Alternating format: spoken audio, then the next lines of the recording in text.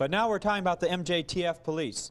In approximately March of 1989, a sequence of political actions was initiated whereby the federal government extorted resources from most of the states, if not all 50 states. Now, I transcribed this. This was such important material, I started transcribing it off the videotape. And if you've ever done that, you know, you run the video as much as you think you can type in, then you type it in on your computer, and then you back it up and run it again. It's a very tedious thing, and I worked for some two weeks transcribing mm. this, and then I found it was already transcribed in a book. oh, no. And uh, so I'm, I'm going out of, out of this transcription in the book here. All right, so the federal government extorted resources from most of the states, if not all 50 states, simultaneously within a two-week period, passing laws in every state authorizing the use of federal funding to convert local and state forces into national police forces. So this is the process of the nationalizing of our police forces. It began in 1989 in a very direct way. Not too long after the initiative, President Bush brought the phrase the New World Order out of the closet into the open. The MJTF police are in virtually every state of the Union of the United States at this time. Their primary mission is house-to-house -house search and seizure, separation and categorization of men, women, and children in large numbers, the transferal to detention facilities, and the use of those facilities for interrogation purposes. Mm. Did you catch that, John? Mm.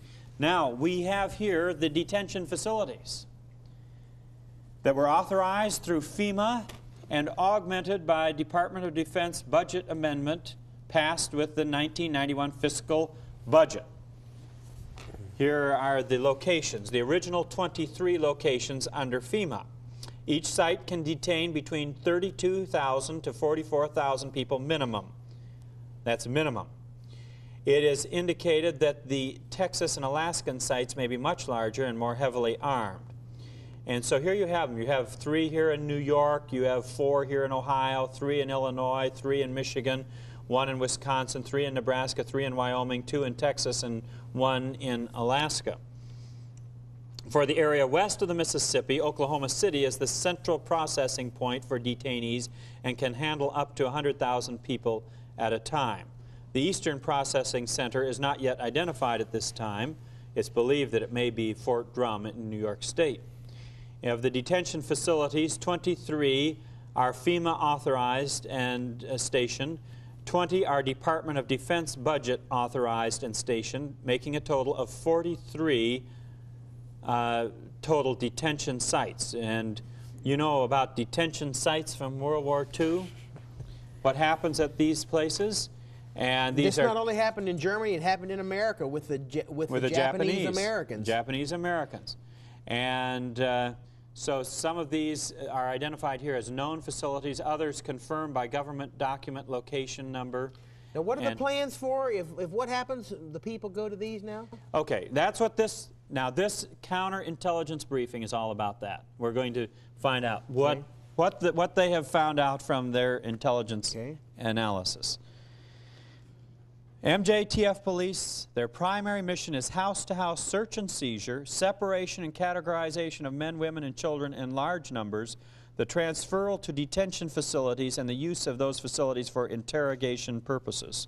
The MJTF are regular National Guard comprised of local law enforcement personnel and street gangs being utilized street gangs? for national police services. Street gangs? Did I hear you right? Yes, this is a, a very interesting development. Now, no, wait, no, wait, no, wait, no, wait, no, wait. This is saying, and this is already in effect, that our government is going to use street gangs for law enforcement? Okay, ju just wait a minute. I want to get a newspaper that just well, came know, out this just, weekend, John. You just read that and went right through that and just zipped through that, and my antennas went up, and I just got to make sure that you said what I thought you said. Yes, the government is very interested apparently, and according to this uh, analysis, and we have some very interesting material that just came in on a paper this weekend from the Orlando Sentinel. You see, when, you, when it comes down to the point where they're going to take the guns away from the people and search for drugs and resistors to the New World Order, you've got to have the people who, like the BATF at Waco, bust down the doors, go in, search the place, and a lot of them are going to get killed. And the average uh, BATF man makes between forty-seven and fifty-four thousand dollars a year. He's not wanting to be killed and, you know, leave his family uh, fatherless and husbandless. And so they are interested in utilizing street gang leaders because they ha- they're like a paramilitary group already. They've learned how to enforce discipline and have a military style organization. If they can incorporate them into the uh, expendable force that will be the frontline shock stormtroopers against the American people, then, then the other fellows, you know, don't run the risks that Getting these killed. people do. Now, the gangs apparently that are being considered are gangs such as the Bloods and the Crips in uh, Los Angeles. Now, here, notice this in the Orlando Sentinels. This just came out Saturday, October 30, 1993. Gangs lay down colors and rivalry to join forces against fire. So already they're utilizing them in fighting fires. And these are the Bloods and the Crips, the same ones that this intelligence analyst said. And I tell you, John, I had the same reaction as you did when I first heard this. Gangs. Total disbelief. Imagine gang leaders of the Bloods and the Crips. They use Uzi uh, submachine guns in their gang warfare and all of this. But it's not so far fetched. What happened in Haiti when the UN and the U.S. forces came to, uh, to uh, land and to dock? What happened? The Haitian government that is opposing Aristide, the military government, they didn't use their own troops to oppose them. They used gangs. Gangs, They yeah. used armed gangs Yeah. that were in collaboration Yeah. with the military to rough up and, and kill people and, and scare the uh, U.S. forces so they wouldn't get off the boat. And these guys have nothing, they feel like they have nothing to lose. They're facing death all the time anyway, and, and they don't have the kind of commitments that uh, the regular BATF men are going to have. But notice what this says here. Gangs lay down colors, rivalry to join forces against fire. And there's a picture of these uh, people. Uh, Sierra Madre, California. On the steep, steep chaparral covered slopes of the San Gabriel Mountains, the blue of the Crips and the red of the Bloods were joined in a painted band on the tools of a unique team of firefighters. It shows our bond of unity, Maurice White said of the two stripes on the handle of his tool, a combination rake and hoe. Out here, we are all brothers. The 24 year old member of the Four Tray Crips took his place in the hot dust Thursday beside members of the rival Bloods and other gangs to dig a two foot wide fire line. Now, these are, I mean, these gangs are death on each other. All of a sudden now, the government is using them as firefighters and, as Koernke says, from according to his intelligence for use in the MJTF police. Usually red and blue mark the differences between the gangs and fighting can erupt if the wrong color is flashed at a rival member. Gang members, former members, and their neighbors form a U.S. Forest Service crew called the South Central Panthers, named after the Los Angeles neighborhood ravaged by rioting in 1992. So it's not such a novel concept. And what did the Roman Catholic Church do during the Dark Ages, John? They Inflamed said- the people. They said, anyone who wants to join this crusade, you know, you can join. And they had all kinds of criminals join against the Waldenses, against the Hussites. Mob rule. And, and therefore, you have all these expendable criminals that go in the vanguard of the army And they can never to be do accused. the dirty work. Oh, we had nothing to do with it. It was the it was the populace that did it. The, the people did it. Yes.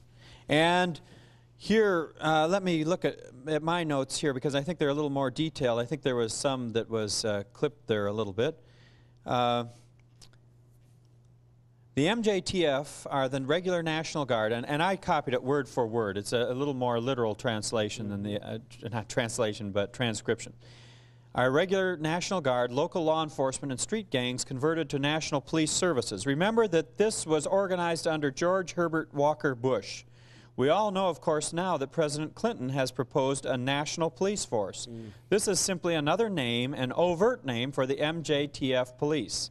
Now, the motto for the MJTF police is that they are the velvet glove on the iron fist. Anybody who is familiar with some of the speeches that have taken place, ex President Reagan spoke in England here approximately two months ago and commented that the United Nations forces would be the velvet glove on the steel fist. This is a very popular phrase. It has been used extensively by these people that are within the New World Order operation. Notice these people, Reagan and others, talking about the steel fist with the velvet glove on it.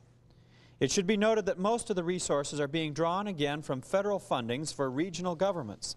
The state of Michigan converted part of their forces over on February 11th of 1989 when Senator Carl Levin, the state adjutant generals of Michigan, Ohio, and Indiana met in Lansing, and at 6.35 in the evening, an agreement was struck in which elements of the Michigan National Guard would be deployed in Indiana and mm. Ohio. Notice they're using the wow. same idea, yes. taking them from Michigan, putting them in Indiana. Different, different areas. In the event of, and in fact, it was stated that when firearms are confiscated in the Midwest, that these forces would be deployed both in Indiana and in Ohio.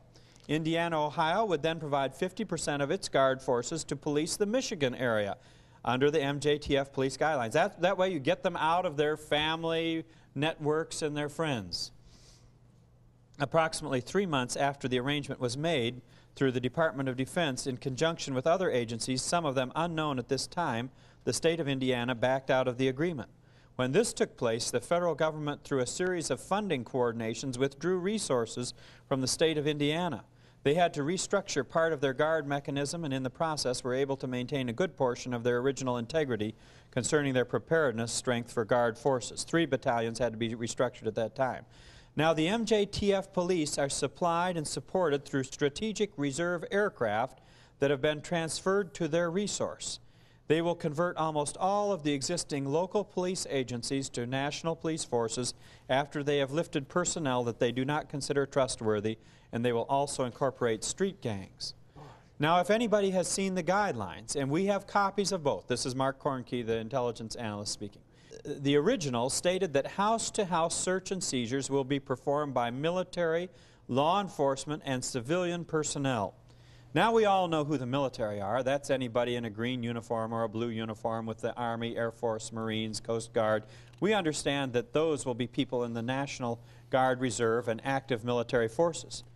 We know who law enforcement is. These are the constables, the individuals that you have in your local level all the way up to eh, any, including the secret police in the United States, such as the FBI, Central Intelligence Agency, and other agencies that might be at their disposal. Defense Intelligence Agency, etc. But who are the civilians that are going to come into your home? I don't recall there being any guidelines for that in the Constitution. The gangs.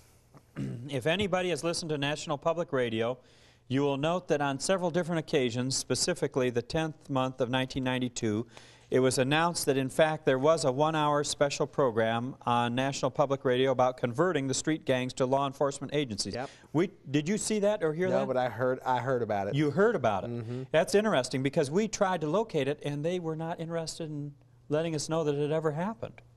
We, we ran up against a dead end, but the fact that you heard it mm -hmm. is mm-hmm. is significant. We have been talking about this for years prior to its action. We knew that there were preparatory activities taking place.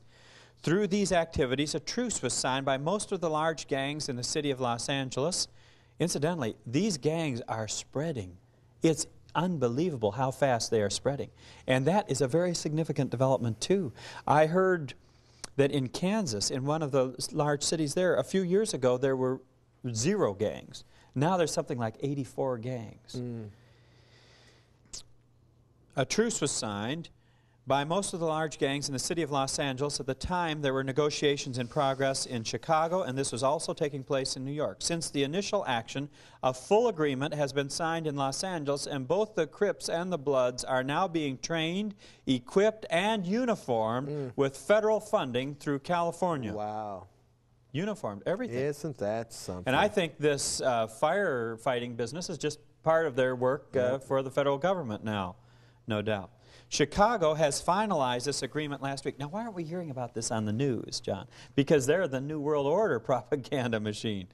New York is in the process of doing so sometime in the next few weeks, and we can assume that they will do this very quickly. These forces will be the cannon fodder, the Schützenaufklärung. My German isn't the best. Their mission is to be the forefront, the master forces to come through the door. Remember that the average federal agent makes anywhere from $47,000 to $57,000 a year. He is more or less looking at his pension. He's not concerned with risking his life. especially if he can find someone to throw in front of him as a sandbag. That's the mission of these group forces that are being organized. Since last I spoke, probably the best example I'm sure that everybody listening here has heard about Waco, Texas. These forces that were on the ground, to give you the best example, were not effective fighting forces. When you retreat and leave wounded and dead lying on the ground, that's called a rout. That's not a retreat. And this is symptomatic of professional forces that are there for the money.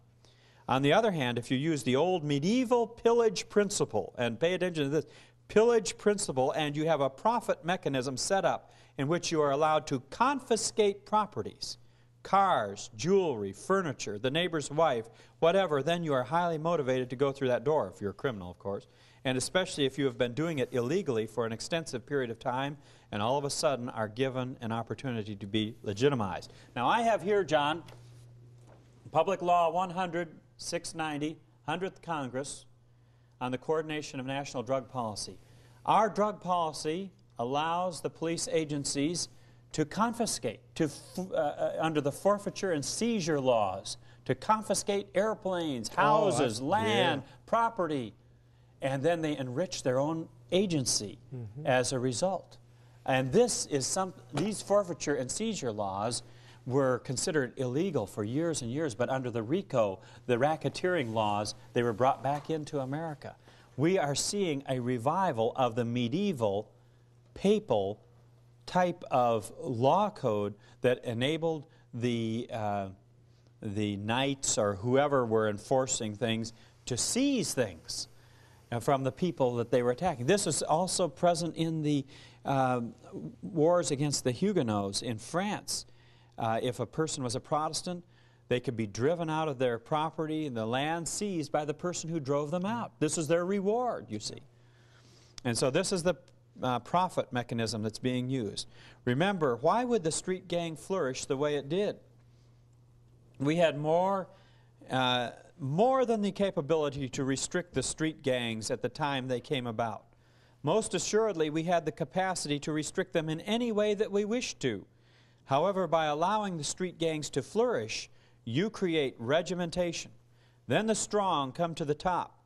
These are your NCOs and leaders. When you are finished, you simply put them in uniform and you have an organized military force at your disposal. Mm. They are thugs, but they are expendable thugs. Remember that. Now, remember how the BATF acted down there. The- Now- I've heard several commentators refer to them as thugs. Yes, oh yes. Now, MJTF police operations. There are several actions that have taken place within the last two years. Starting in 1991, they participated or were a part of Operation Achilles. Have you heard about that? No. It was a sweep from the southern Ohio Valley up through Michigan.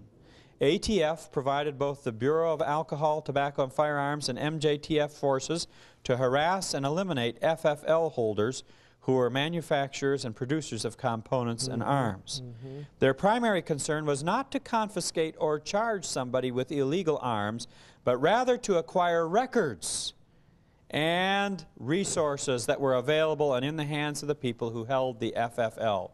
That's the firearms trading license. So what they would do is come into an FFL location, a, a gun dealer, and seize his records, copy the records. They wanted to know who the gun owners were. Mm-hmm. Why? Mm-hmm. Why? I mean, these were people that had signed on the dotted line of the federal form and all. Why did they want that? Because of what's coming with the New World Order, with the, with the ultimate confiscation of the, of the They want to know who's got what. That's right. In every case, they went into these businesses. The only thing that they took were the records of who purchased products and where they live. Very important to understand. Now, there are a series of other activities that took place after this. MJTF was deployed in Los Angeles during the LA riots, though there was only a slight mention of it. That's the authority that they were under, along with FinCEN. All of these agencies are overlapping and under the general authority of the United Nations. Mm. Remember, we are now an international organization, not the United States. John, I have a uh, map here of the MJTF uh, police locations. They correspond quite similarly to the uh, detention facilities, or we might say concentration camp locations that we looked at. And these locations also include Florida, Georgia, uh, South Carolina, and uh, three in three locations in California. And then what are those? That's where the MJTF police uh, are located. Oh, okay. Uh, now, Now? Yes. Now uh, we have the FinCEN confirmed pre-deployment locations. And here we see a little difference in geography. We have, uh, it's similar to the MJTF, but it also has a site here in New Mexico, several sites in Florida. Looks like one here in Orlando, probably Tampa. Uh, and then a whole string of them Around in the area up near Washington, Sure. D.C., and in uh, the Carolinas, and uh, of course, Ohio. Bob, uh, where did you Indiana, get Michigan. all this information? Well, uh, my good brother-in-law Craig has been digging it out Wow. for us here for a number of weeks. Now, I'll just read to you, and I believe this is taken probably from Cornicky's material somewhere. Uh, FinCEN mission is. Once again, it's house-to-house search and seizure of property and arms, separation and categorization of men, women, and children as prisoners in large numbers, transfer to detention facilities of aforementioned prisoners. FinCEN are foreign military and secret police brought into the United States for deployment against the U.S. citizens. Most identified FinCEN units are at company strength, 160 plus. Some are as large as brigade strength, 2,600 plus. All FinCEN equipment is black. FinCEN uniforms, helicopters, etc. And here we have United Nations combat groups confirmed locations. Four of them in Montana, you'll see. Wow. Two in California, one in Southern California, one up in, I think it's the Sacramento area, one in uh, New Mexico, one in Texas, one in Georgia, three here in uh, North Carolina, uh, some up here by New York City, and up by Fort Drum in New York State and in Michigan.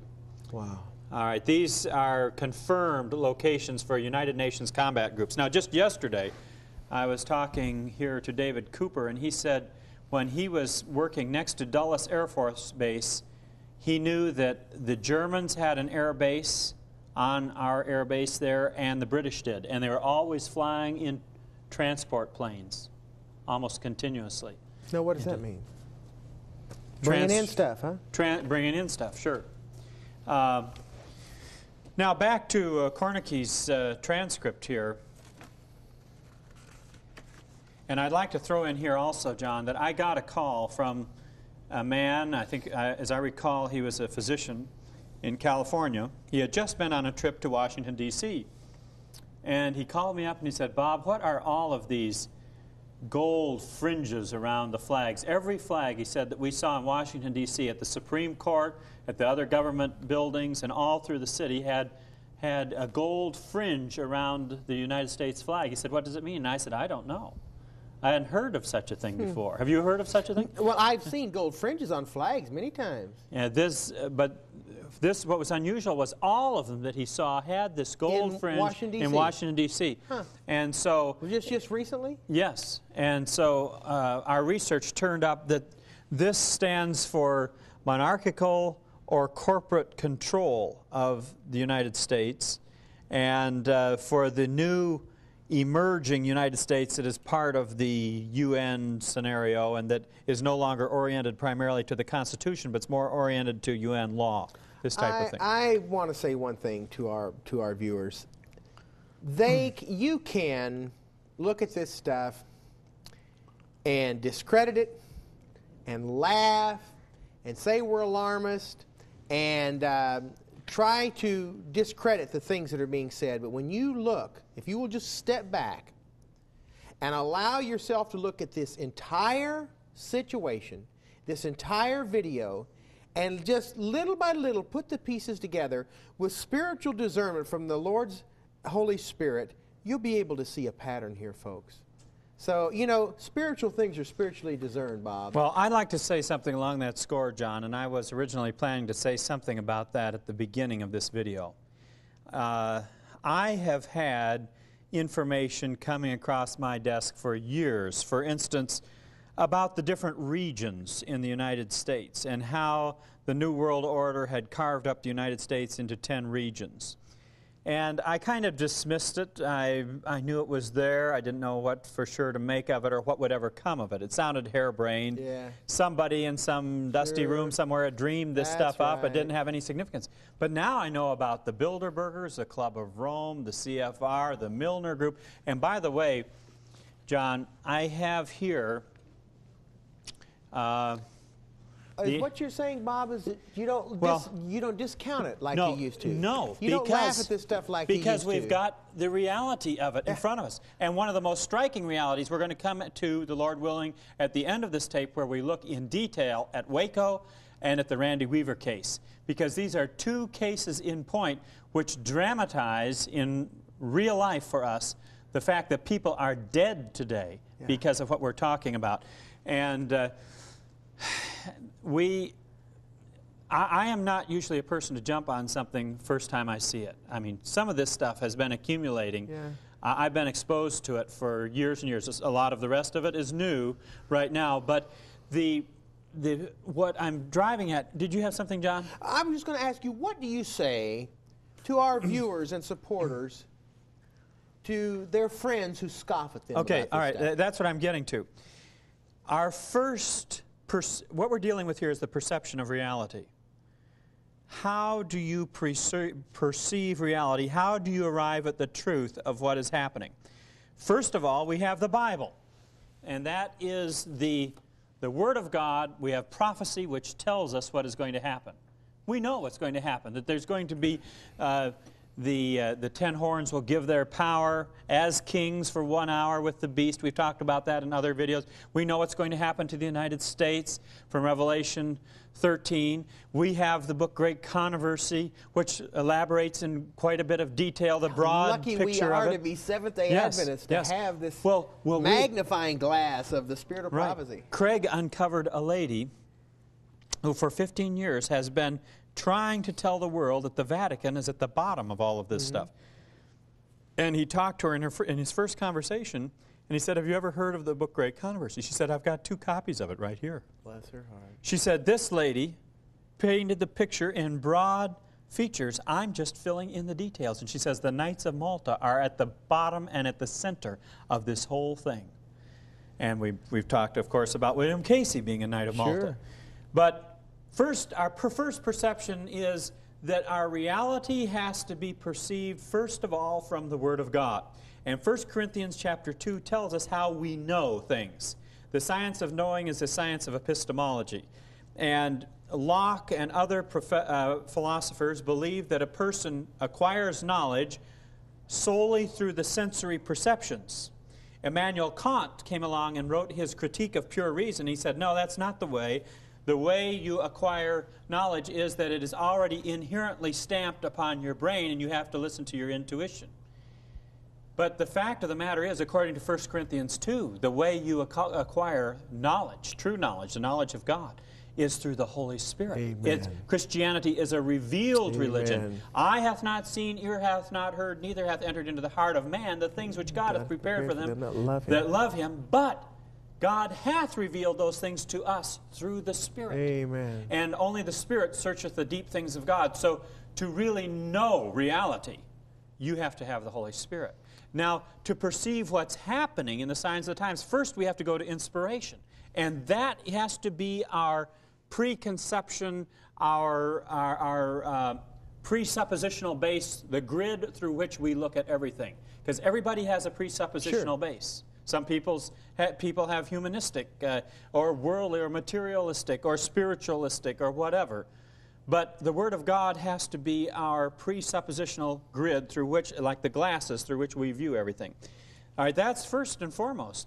And then the Holy Spirit has to lead us in uncovering the reality of the signs of the times, what, what is really happening. Now, I just figured we, we needed to say that right Oh, there, Bob. because There absolutely. are things This that people just, ah, you know, No. scoff at. No, this is very important. This is so important. I'm glad you brought it up, John. Well, the last thing we talked about now was the gold fringe around the flags Yeah, and what it yeah. what what you've uncovered that, yeah. that that that means. Yeah, before we get back to that, I just want to mention when I was in college, I remember his history teachers scoffing, eh, at least a, a certain academy history teachers who had just graduated from college, scoffing at the idea of conspiracy theories. Yes. Well, Ellen White is very clear that there is a conspiracy. It's the You Vatican. believe there is. And now we know from Carroll Quigley, the mentor of Bill Clinton, that there, we know the people, who they are. Here is the Anglo American establishment by Carroll Quigley, who taught at Georgetown University, in which he de- delineates the personalities involved in Cecil Rhodes's establishment of the roundtable groups, which was a Jesuit style pattern after the constitutions of the Jesuits, which we've talked about in other videos. You talk about people who scoff at conspiracies. I want to tell you, Bob, that the majority of the people, I believe, you correct me if I'm wrong, the majority of the people who are involved in this conspiracy in the world to take over the world with the New World Government, with the, uh, with, with the, new, the, the New World Order, may not even be cognizant of the fact that they are part of the conspiracy. At the highest levels, they are very at, aware at of it. At the though. highest levels, Yeah. but but the In the but- lower but the levels, lower yeah. levels, they are not even aware that they are part That's of the right. conspiracy. That's right. That's why today the same thing with the corporate structure of the Seventh Day Adventist corporate structure is that the pastors and those who are in the lower echelon they laugh and scoff at any type of conspiracy theory about a takeover uh, of our. De- denominational organization, and they don't even know that they are a part of that conspiracy. But let me tell you, John, in the days of Wylie and D'Aubigné and these other men that uh, Ellen White read when she was writing Great Controversy, they were very aware of the conspiracy of the papacy to take over England, to take over other nations. I mean, this is a very old concept and a very well understood concept by them. And one of the reasons America and our structure has fallen into the trap it has is because they no longer understand the forces of evil that are at work to try to take over. Talking about the forces entities. of evil, I want the viewers to know that if you hear things rumbling and shaking, I want you to know that the wind is whipping around this building unbelievably today. It is dark, overcast, the wind is blowing, and we can just hear it just whipping around this building. And when you, it seems like every time we tape, Bob, there's a storm. Isn't that amazing? I, I see a, a great application there. Now, I would like to read something here, John. We've talked a little bit about these MJTF police, and we're going to get back to it, and the FinCEN and uh, takeover by the uh, New World Order. But here is what the mentor of Bill Clinton said. And remember, he sat at this man's feet, and this man was his mentor at Georgetown. He's talking about the future in perspective and what's going to happen to the democracies. Now, you know that the perspective of Rome is that America is, is I mean, that's it's just an infant as far as time goes. 200 years of democracy is uh, nothing compared to the hundreds and hundreds of years that Rome ruled the world. Well, listen to this on page 1200 of Tragedy and Hope A History of the World in Our Time by Carroll Quigley, the mentor of Bill Clinton. When weapons are of the amateur type of 1880, as they were in Greece in the 5th century, they are widely possessed by citizens. Power is similarly dispersed, and no minority can compel the majority to yield to its will. With such an amateur we- weapons system, if other conditions are not totally unfavorable, we are likely to find majority rule and a relatively democratic political system. But on the contrary, when a period can be dominated by complex and expensive weapons that only a few persons can afford to possess or can learn to use, we have a situation where the minority who control such specialist weapons can dominate the majority who lack them. That's right. And that's what we have now. I mean, here we've got tanks, we've got, you know, stealth bombers. when I saw, when I have, what actual video I have seen of the German Jewish Holocaust, uh, when we would see thousands and thousands of Jews who knew they were walking to their death. They knew they were walking to death. They knew that they were either going to be gassed or they knew that they were going to be uh, machine gunned, and there would just be a few German soldiers with machine guns and thousands of Jews. And, Millions. And, and, and you say to yourself, if they just if if they just ran towards the Germans, yes, some of them would get it, but they could overpower them. But there is this same thing that you're just talking about that a few people with guns can can have control over thousands. And that's why we're seeing all of this gun control.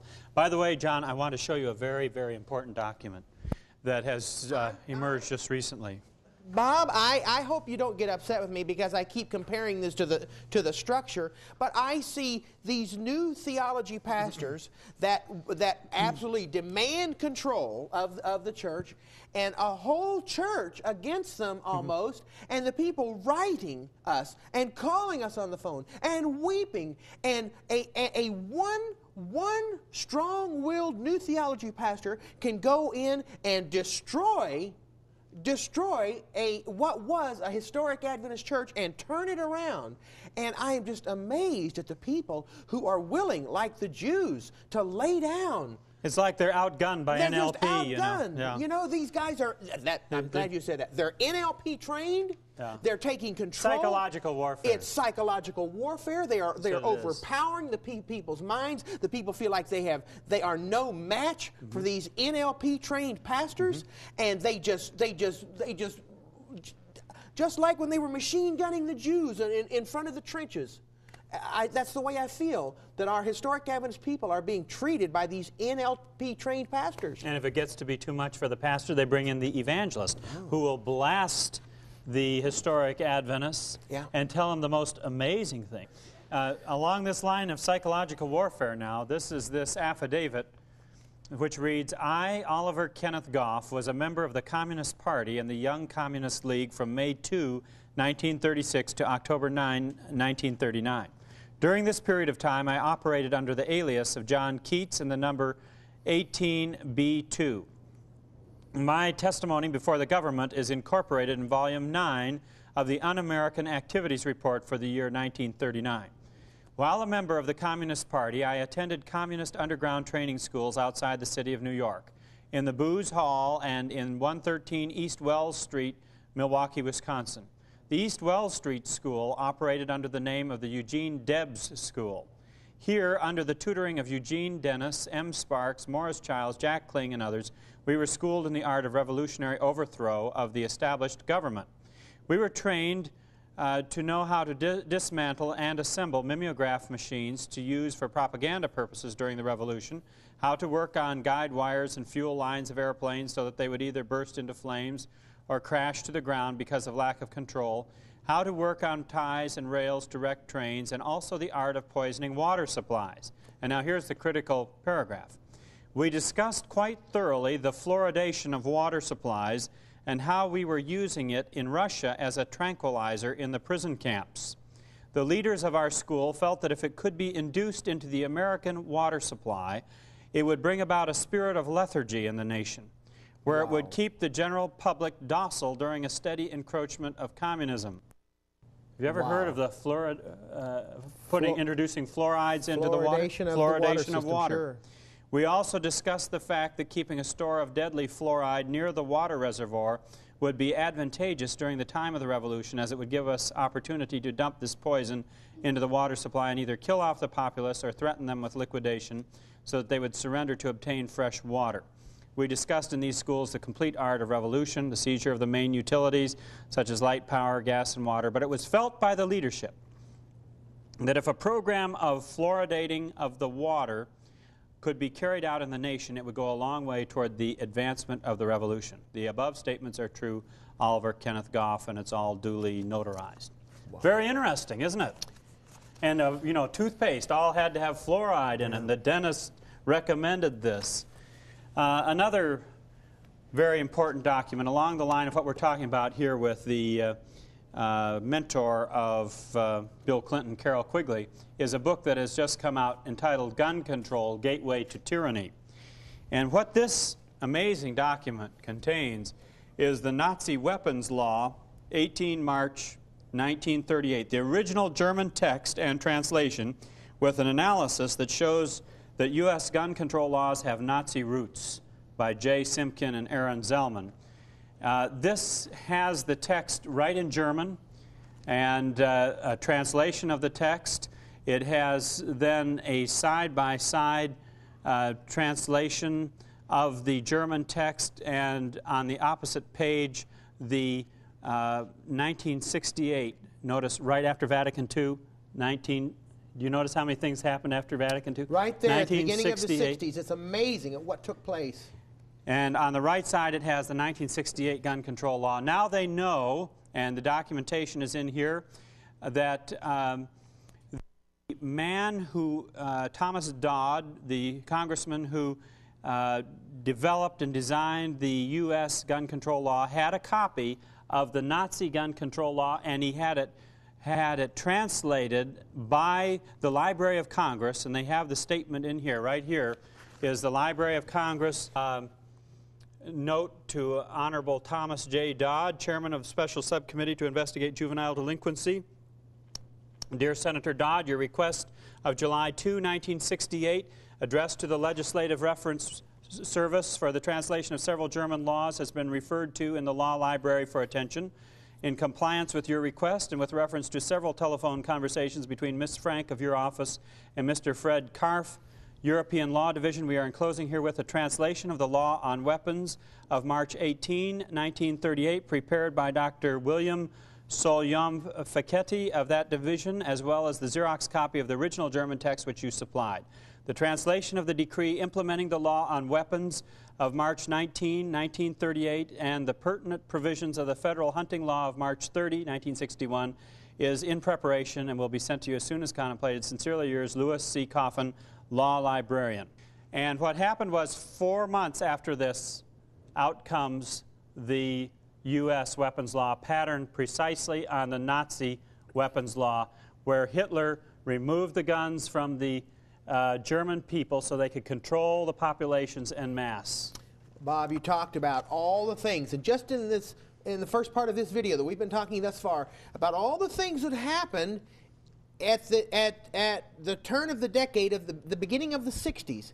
There was a there was a, a paradigm shift, as you say, uh, that took place in the world right at Vatican II there at and right just, after uh, right just before and right after right there at the, at the uh, 1961 62 right in there. I cannot help but see the parallel of what has happened in the corporate structure in the beginning of the 90s Mm-hmm. 91 90 91 92 93 in those beginning years we have seen celebration. Mm-hmm. we have seen nlp we have seen a, a, a exact jesuit agenda being followed. We have seen all of these things that have been a total shift of everything we have believed before right there in that have happened suddenly. And i can't help but think and see the parallel between what happened in the early 60s in the united states being what happened in the early 90s in the seventh adventist corporate structure. And in Jesuit Agenda 1, we traced what was happening during, eh, right after Vatican II in our structure that laid the groundwork for what's happening now in the Yes. 90s. It's just like that they have been preparing for years and years and years, getting everything ready, getting everything into line, and then suddenly when they strike, it's quick. That's right. Boy, it's happened suddenly. I mean, celebration came on us like a whirlwind, Bob. That's right. Like a whirlwind. That's right. That's right. They have a quotation in here by Adolf Hitler, August 22, 1939. He said, I have given orders to my death units to exterminate without mercy or pity men, women, and children belonging to the Polish speaking race. It is only in this manner that we can acquire the vital territory which we need. After all, who remembers today the extermination of the Armenians? Well, the Armenians, 1.5 million of them were slaughtered by the Turks in World War I. They were marched on death marches. They were forbidden to have any arms, and therefore a few soldiers could take them off and exterminate them. But we are seeing the Nazi gun control legislation that came in to our legislation in 1968. And the way Hitler worked was he removed first this part of the weapons that the people had, then this part. They just chipped away, chipped away. They required registration. Then when they knew who who had the firearms, and they would confiscate and that type of thing. So we're looking at the same procedure now. And back to Carroll Quigley talking about this society where specialist weapons can dominate the majority who lack them, a, minor- a minority that controls specialist weapons can dominate the majority who lack them.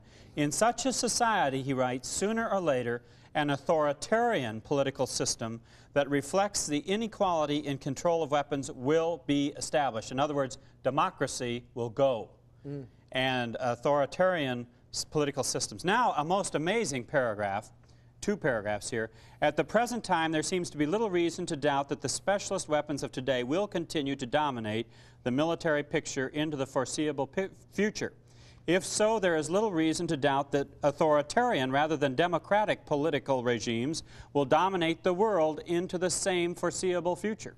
To be sure, traditions and other factors may keep democratic systems, or at least democratic forms, in many areas, such as the United States or England. To us, brought up as we were on a democratic ideology, this may seem very tragic, but a number of perhaps redeeming features in this situation may well be considered. For one, our society, Western civilization, is almost 1,500 years old and was democratic in political action for less than 200 of these years, or even half of that in strict truth. A period that is not democratic in its political structure is not necessarily bad, he says. And so, basically, what he's saying, and this is a mentor of Bill Clinton, we're moving from democracy to authoritarianism. Mm. And that's the way it's going to be. Now, back to this uh, transcript. In 1992 through early 1993, reorganization was taking place to try and give the MJTF greater credibility. However, it was understood that the mercenary forces probably will not function as originally anticipated, so the Guard has been restructured. That, for many people who are familiar with the way the Guard operates, will understand why the Guard is being rifted of experienced personnel. Desert Dust, or in other words, we call it Desert Storm. Its primary mission was threefold, but its primary mission was to see whether or not the American people would eat the New World Order. U.S. soldiers were sent overseas. Their American flags were taken off their uniforms. Flags were taken down by officers in the field because the flag was not allowed to be flown. UN flag. Mo it, it, had to be. It the had UN to be flag. the UN yeah, flag. Right. Most every other nat. Wait a minute, though. Most every other nationality was allowed to fly their flag. Except the U.S. And other, amazing? other than for publicity purposes, for public consumption, the general position was that the flag was to be trodden at every opportunity. If any of you were watching the news, you noticed that a lot of Marines were jumping up and showing their patch, which they had just pulled out of their pocket, and laying it on their arm and going, See this? This is what I'm fighting for, showing the American flag that they had been required to take off their uniform. These people have to be done away with. You can't have these people in the military, Koernke is saying. And so they decided that they would have to rift these people out, transfer them to the Guard if they are already in Guard units, restructure, reestablish guidelines, that would allow them to extract these people from the mechanism. They are trying to go to the next generation with educated idiots. They are looking for people who are going to be more pliable. As Mr. Rockefeller said many years ago, clay that can be molded more efficiently. And since the first or latest crop didn't work, we are now going to restructure the entire mechanism and see what we can get from the next batch. This is where we are going with this. Now it should be noted that before they can do all of this, before they can perform any of the actions that are pending, they are going to have to take the weapons that we have inside the United States. I will say again that the meeting that took place in 1989, the federal government, the representatives that were there, stated uncategorically when we take the weapons, not if we take the weapons, but when. And under that premise, everything else was constructed. Now, very quickly, there is one that I like here. I'm going to have it put up on the board, and he shows a poster of Hitler doing the Heil Hitler salute. Everybody, everybody in favor of gun control, please raise your right hand. And then he tells about this book, uh, Gun Control Act of 1968, uh, in which it has been demonstrated that the Gun Control Act of 1968 wasn't simply an American creation. It was taken from Nazi Germany's gun control laws of 1938 word for word. Now, that's very important when you consider this because we're not talking a few paragraphs here and there. The entire document is taken from Nazi Germany's gun control laws of 1938. Mm. If they were already at that level in 1968, then where are you going to go with our gun laws now? It should be understood that the MJTF police is not trusted by the federal agencies and eventually will be done away with. Again, the MJTF are useful cannon fodder that will eventually be swept to the side. Moving on beyond the MJTF police, and we're going to back up to that, going back to them in a little bit, are the FinCEN forces. FinCEN, Financial Crimes Enforcement Network Personnel. FinCEN has as much to do with finances as the SAS had to do with airplanes. The SAS, Special Air Service, is a cover name for an entity that existed in England and was the equivalent to the OSS of World War II, 1941 to 45. FinCEN forces, their primary mission is house-to-house searches and seizure, separation and categorization of men, women, and children, transfer to detention facilities, securing properties acquired, but not the maintaining of detention camps. That will be the mission of the MJTF police. I should mention very quickly the detention camps themselves. Originally under FEMA, 23 detention camps were authorized. These detention camps are spread out across the United States. In addition to that, there are 20 supplemental camps that were authorized with the 1990-1991 military fiscal budget. Carl Levin's DoD budget Amendment 656 authorized the implementation of these 20 camps to supplement the 23 that were already authorized. There are now 43 total camps that are pre-deployed inside the continental United States. And then he lists some of them. In addition to that, there are supplemental camps or auxiliary camps through each state and in each region. An example of this would be the Nike Hercules site located near Monroe. That is a pre-designated detention facility. The three sites that are located in Michigan, number one is located north of Pinckney, Michigan and due west of Brighton. Second is earmarked near Lansing, Michigan, north, northeast. The third is Fort Custer Military Reservation, which has been upgraded from a D facility to a B facility. This is very important because a D facility is state authorized and state controlled. A B facility, on the other hand, has been upgraded to federal status and is comparable in, uh, to any of our, for instance, prime military facilities, such as Fort Benning, Georgia, Wright-Patterson Air Force Base, any facility that we are presently using for active military forces. And then he tells of, of what is going on in these places. However, if you get a chance to tour the highways and byways and back roads of Fort Custer, you will find that there is a new urban warfare center there. The new urban warfare center does not look like Bad Hersfeld, Germany. It looks like downtown Monroe. It looks like downtown uh, Salina. It has three bedroom ranch style houses, cracker box farmhouses, small living areas inside downtown areas. At this particular site, MJTF police forces were training from the first week of January 1989 on. They were training every second and third week of the month from Monday through Thursday. They were uh, paying with non-Department of Defense funds. In other words, there were uh, GSA or they were funds from another agency other than regular military budget allocation. How does he substantiate all this, Bob? Well, he's a military intelligence briefing officer. Well, he I mean, what, he what? has a team all across America that feeds him information, you see. And this is the way these military briefings go. We have eight tapes of his, and I've only listened to I mean, about he two better of be able to back all this stuff up because, man, people can just take him to the cleaners. We'll get back to FinCEN now.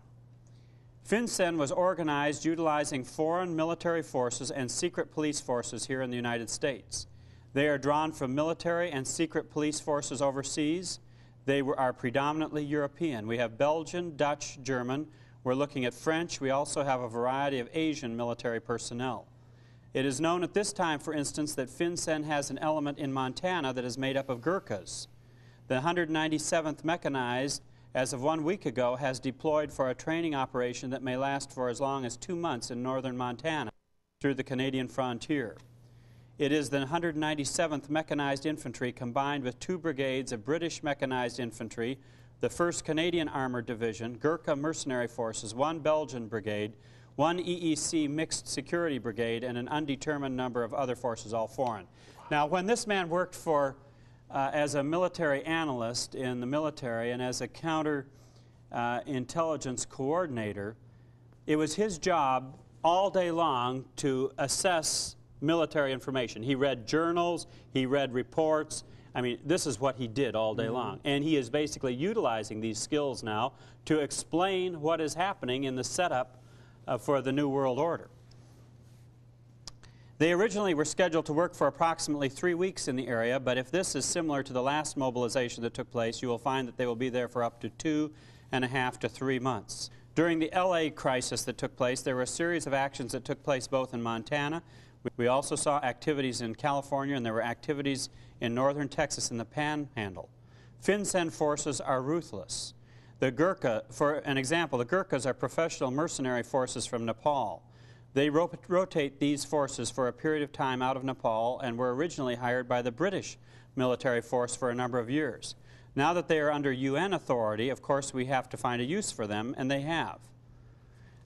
And, uh, he tells us about regionalism. Now, those who have studied about the New World Order know that the United States is divided up into 10 regions. Um, we have a very interesting thing about how they are sh- training the children to think in terms of regions rather than states. On the back of the Kix cereal boxes, for example, now, they have the regions of the United States and they have the UN insignia, and nowhere does it say anything about the United States. This It on the back of the Kix, Kix box. cereal? Yes. Well, we're finding that the cartoon characters, they're using UN type persons and people who have AIDS and all this. There is a tremendous conditioning that's going on with the children in. Uh, Well, if we can get uh, our hands across. on that, we'll show it to our Well, we have it uh, somewhere, but I, I don't think Well, we'll try to get our hands on it it, in here. insert this into, into the Yeah. video, but this is incredible. Yeah, the different regions, Yeah. and they they do it very, uh, in, in very subtly and in a very nice way. You know, in this region, you have these kind of uh, products that are produced and all, but it's still the s- same ten regions of the New And World instead Order. of instead of showing the 50 states, they show the 10 regions. yes, well, they they show the ten regions superimposed on the states Isn't in different colors. Isn't that something? Wow. Yeah, I have been absolutely amazed at the conditioning that is going on with, with children. We were in a uh, Pizza Hut and saw a, uh, a comic book that they had for children with all kinds of spiritualistic concepts, just loaded with spiritualistic concepts. And it was this Professor Xavier who has all of these mutants that they're going to enforce peace on the earth and they're going to enforce love and unity. And they're hated by the people of earth, but they have a wonderful mission to accomplish to impose love and unity and peace on the inhabitants of the earth, earth, and they use all kinds of psychological and supernatural spiritualistic forces to accomplish this. Well, this is what the kids are growing up with now instead of the Bible and instead of Moses and Elijah and the great stories of the Bible. This is what they're growing up with. They, there's a generation, the point is, there is a generation that is being conditioned for all of this. I will use the regional map here, Koernke says. There are a number of forces spread throughout the 10 regions. For those of you who are not familiar with regionalism, regionalism is a form of government that we are about to experience if the New World Order people have their way. Under regionalism, Michigan becomes not Michigan, but Area 5. As Area 5, our capital will be in Chicago. Under the new state's constitution, this particular type of government comes into power, and we're going to find all of a sudden we are part of this warm, fuzzy New World Order real quick. Unfortunately, we never vote for a governor again. Note, there goes Republicanism. The governor will be directly assigned by the president, kind of like in Star Wars. You know, I'm amazed at how, what impact the media has had. When we were researching NLP, we found a book written by a couple of Army officers where they told of a Jedi project in the military that used NLP. They have been using NLP in, in the military for years, and they ta- have taken a lot of their cues from Star Wars. Mm-hmm. This is absolutely astounding. I would like to emphasize that this is a counterintelligence military style briefing by Koernke, which means that we don't have books that document these things. These are sightings that people report to him. This is intelligence that he's gathered. For instance, if you gained some information in intelligence based on a visual observation of something, what documentation do you have other than that person's uh, testimony? So we have to realize that the evaluation that we have to put on this. This is a counterintelligence briefing by a, an expert who is analyzing what you he know sees what's amazing to me, Bob, is those who claim that they love and support independent ministries and that they are, quote, our friends, who try to take us apart with these things. I am amazed at, at those who, who say that they appreciate what we're doing, but, and then they try to undo what the, the, the, work that we are doing and the work that you are doing and the stuff that you have un, uncovered and have shown. And I, I can't I, I can't believe that these people are really our friends. You know, they, they hmm. claim to be our friends, they claim to be historic Adventists, but yet they do everything they possibly can to undermine the work that we are doing. Well, I like to say this, John, that when you're dealing with intelligence, and I think any independent ministry that has has tried to verify things and document things, there's various ways you can document things. You can document things because it's in a book. Just because it's in a book doesn't always necessarily, me, me, necessarily mean that it is absolutely verifiable, you know. Right. Uh, it tells you where your source is from. In a court of law, they like to have witnesses because witnesses have seen something. They testify before the jury and before the judge and the attorneys that are present regarding what they have seen. And then counter witnesses, you know, will testify what they saw that was a little bit different. So uh, I want the people to bear in mind that this is a military style counterintelligence briefing that this man's team has assembled regarding what they have witnessed, what they have seen, what they have been able to verify across the nation. And but he doesn't give sources like so and so saw this because that person would be in trouble. Yeah. So this video is just like the other videos that we have done together, and to where, to where the viewer is the jury. We are presenting the material. Yeah. You come to your own conclusion. And see, I could leave this kind of evidence out and just uh, stick with things from books or newspapers, but I feel that this is an important line of evidence that needs to be considered on the merits of the fact that this is an intelligence analyst that has put this together with his team regarding what they understand is happening now in America. I would like to also say that on that KICS box, the basic conditioning process that we're seeing there with the children is the concept of regionalism. There is a slightly different redrawing of the lines than in the New World Order, but the concept of regionalism is what's conveyed. The kids are getting, so they think that way. And it's been said, give me the next generation, you know, and I've got the world, I've got the, uh, I'll have the whole world changed. Now, he tells about, I'm going to just breeze through and hit a few high points now because uh, I don't want to, read here too much. But he tells of the U.S. forces that are overseas. We have forces in uh, 20 to 21,000 sitting off of Yugoslavia's coast or in Yugoslavia now. We have approximately 20,000 mixed personnel functioning in Somalia. Uh, that's 40,000 there. Then we have 20 to 23,000, 22 to 23,000 in Cambodia. And during Desert Storm, 18,000 military personnel were sent to Peru while everyone was watching what was happening over here in Kuwait. 18,000 were sent down into Peru. So we've got about 80,000 stationed overseas right now.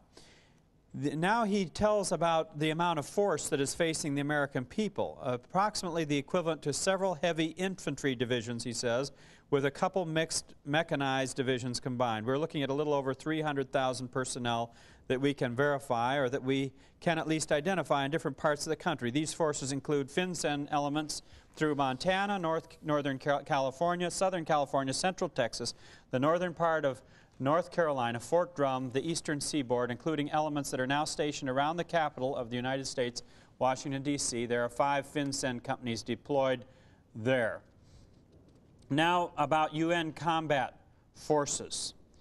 Uh, he says UN nations combat, United Nations combat forces include those that are cooperating with FinCEN at this time in Montana. The elements that are in California, there are 21,000 of them identified south of Los Angeles and are probably deployed north-northeast of Los Angeles in the Sacramento Basin.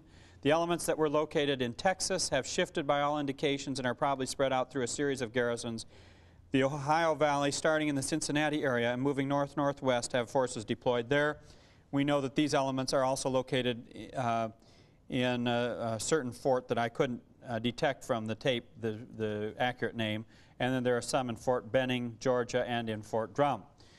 Uh, the processing center for detainees in the western half of the United States is Oklahoma City. We do not know what the location is for the eastern seaboard at this time. However, by all indications, Fort Drum will be the control point for processing individuals to detention facilities on the eastern half of the United States, east of the Mississippi. And then he tells about the rotary wing aircraft assets of FinCEN. That's the helicopters.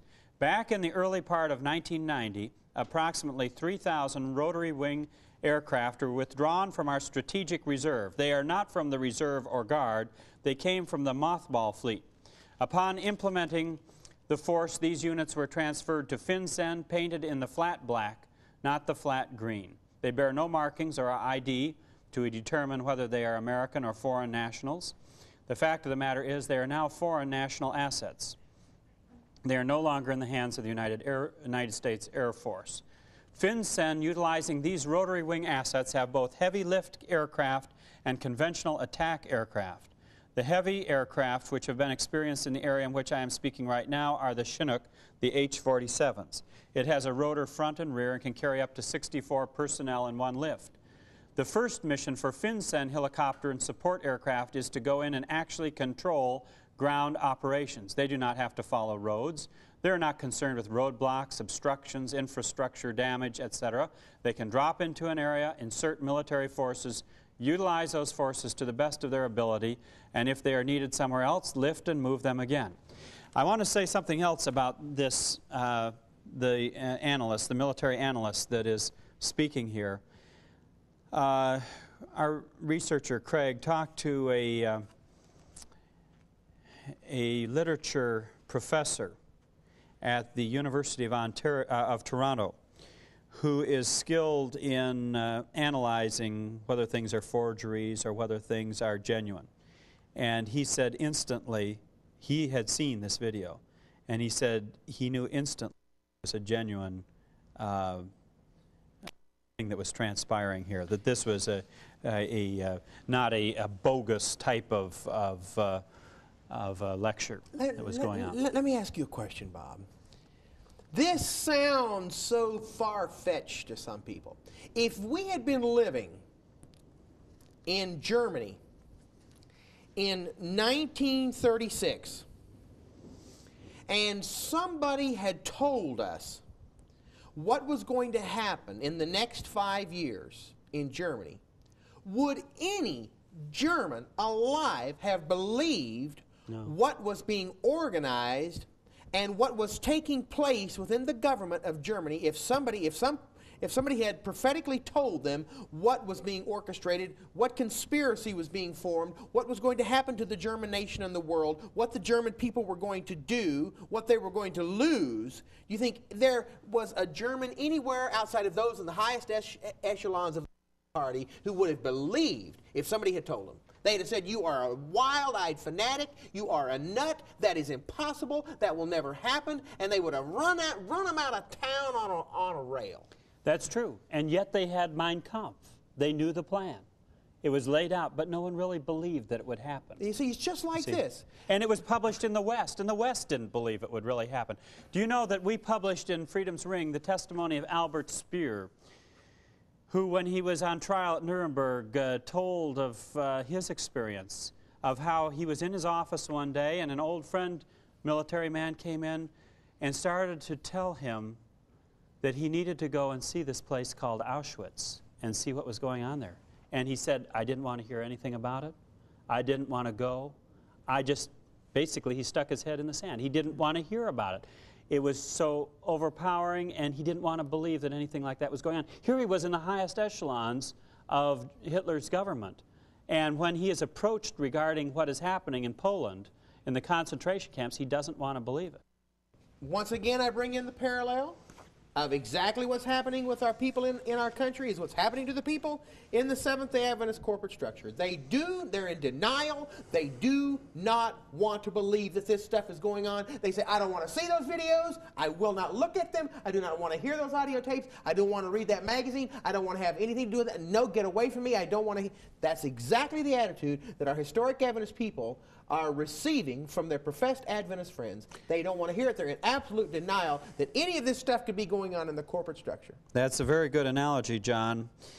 And I'll say this that unless a person has a different point of reference than what they see with their eyes, namely, unless they have the reference point of faith in the Word of God, they're going to have difficulty, great difficulty, in coming to grips with what is happening because their point of reference is the structure, so they have no way of evaluating what's going on in the structure as to rightness, the rightness or wrongness of it because they're not reading and studying.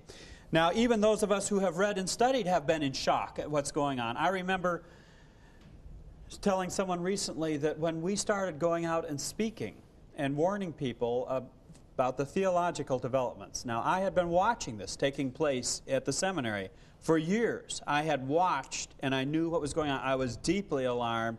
I knew we were heading into a very difficult situation in our, in our church. And yet, when we actually went out and started speaking about it, I remember turning to my wife in the car as we were driving and saying, Is it really possible that these things are happening? Is it really true? And then I would think, Absolutely. It's all documented. I've got it in black and white. It's all there. It is reality. But you see, this is the problem people have when there are marked, subtle, but rapid and powerful changes taking place.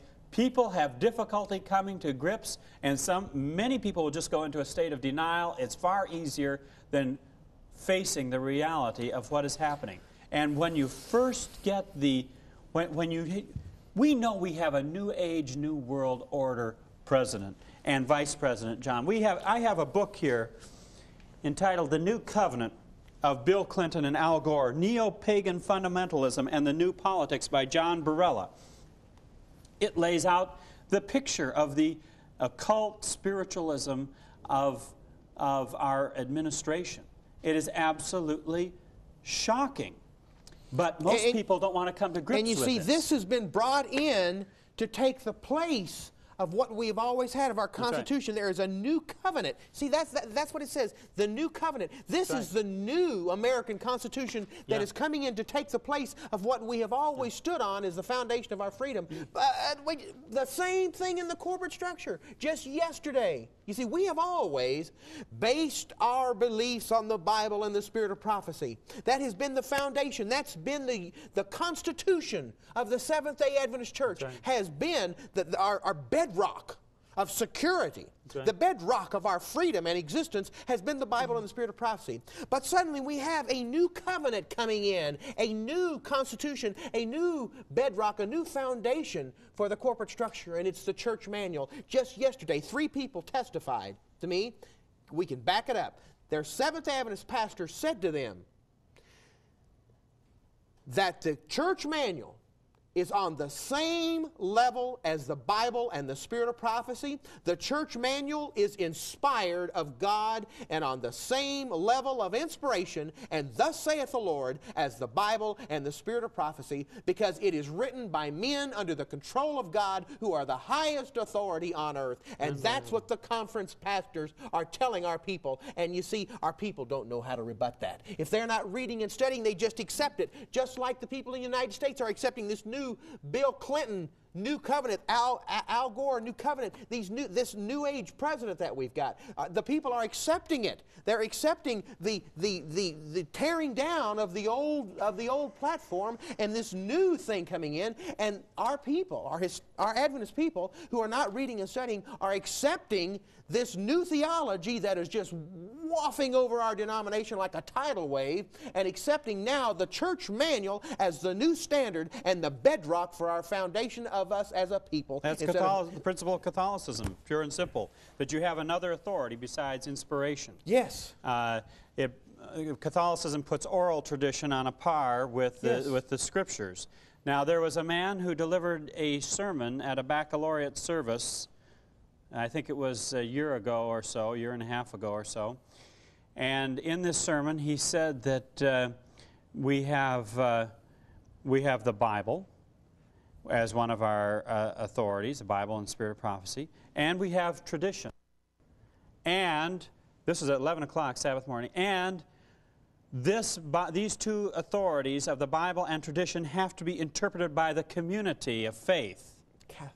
See, that's not only Catholic but Jesuit. Roman Catholic. Now, the amazing thing, John, that we're seeing now is not only is the structure going in the, dis- the direction that you describe, but they are aligning themselves with this administration. well, of course. There was a Liberty, the Liberty magazine carried an article entitled, Is Clinton God's Man in it the shows White him, House? shows Bill Clinton walking on water in front of the Washington Monument. Did, and, and you know, you know what, John? It, this article, I was utterly shocked. blasphemy. Just Absolute shocked. blasphemy. He said that Clinton is better qualified to rule than King David was. We're talking about the editor of the Adventist Review saying that, that Bill Clinton is more qualified to rule than was King David. Yes, and, and the end of the article, he quotes a number of, of uh, scriptures which talk about submitting to the government, which is the type of scripture Ellen White says that will be presented to us when the National Sunday Law is passed that we have to submit to the government.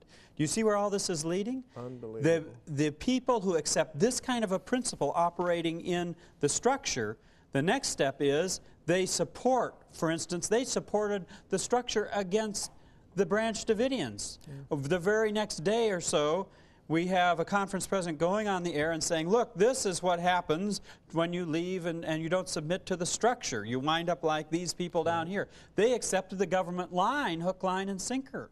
And according to Pilgrim's Rest, Shirley Burton was right in there in the right. early stages trying to get the BATF to deal with them. You know, isn't it amazing that the conference president who made this claim the day after Waco, saying this is what happened to those who separate themselves from organized religious structure, was Don Jacobson, yes. the one who has led this denomination in apostasy of celebration yeah, yeah. and in NLP. Yeah. Isn't it amazing that he was the one that made this statement? You see, all of this points up, John, that if we don't have a different reference point, namely God, and a personal individual submission to Him and His Word, we will not have a way of judging what is happening and we will go with the flow right over the brink into the mark of the beast.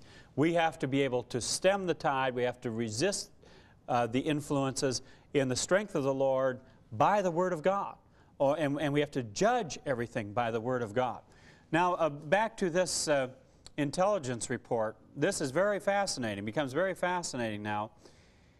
These Chinook H-47s can carry up to 64 personnel in one lift. The first mission for FinCEN helicopter and support aircraft is to go in and actually control ground operations. The second mission for these aircraft, though, is very important. Because of the detention camp mechanism that exists, they do not feel that it will be safe to transfer prisoners on the ground.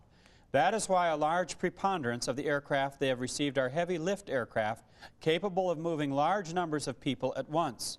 Because of this, the Chinook mission will be to transfer from pickup point personnel who have been acquired and are put in temporary holding sites outside of each, each municipality.